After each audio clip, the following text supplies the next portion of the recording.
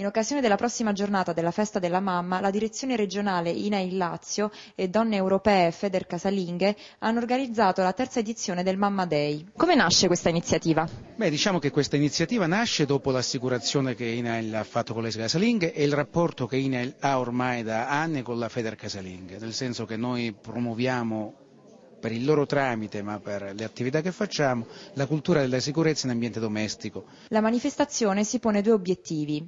Informare sui pericoli che si nascondono tra le mura di casa e sui conseguenti rischi di incidenti domestici e formare sui comportamenti corretti che possono evitare gli stessi incidenti. Un grande contributo all'iniziativa è stato dato dall'assessorato al lavoro e formazione della Regione Lazio. Come nasce questa partnership con l'assessorato?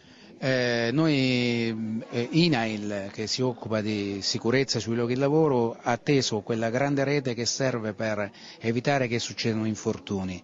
Eh, non può essere una sola istituzione che si occupa di questo, quindi quella rete, quel lavorare insieme ci permette di ridurre gli infortuni in ogni luogo dove avvengono, in strada, in casa e sui luoghi proprio di lavoro, come anche a scuola.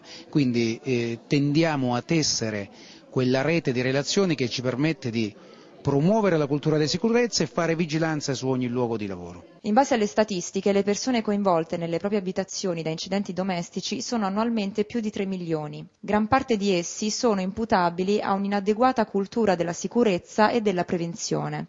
Mamma Day punta a sensibilizzare su questo argomento le mamme, punto di riferimento sociale, culturale ed economico della famiglia.